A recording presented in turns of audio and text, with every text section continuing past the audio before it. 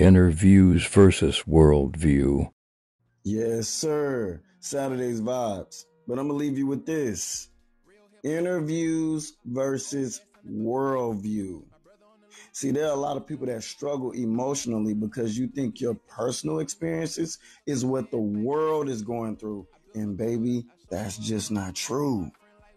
See, don't allow your in look to affect your outlook on life. What you got to come to the truth of, there is some great men out here on the planet.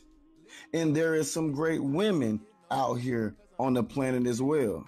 And if you don't believe that is true, baby, you just gonna have to get out your neighborhood, get out your city, get out your state, travel the world just a little bit more because there is some beautiful people on the planet that God created.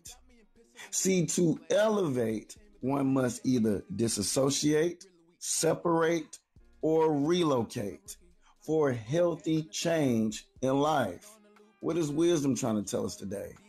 Baby, if your interviews is negative because of bad experiences and choices you made, and you think that's a worldview, then all life is saying is you need to heal.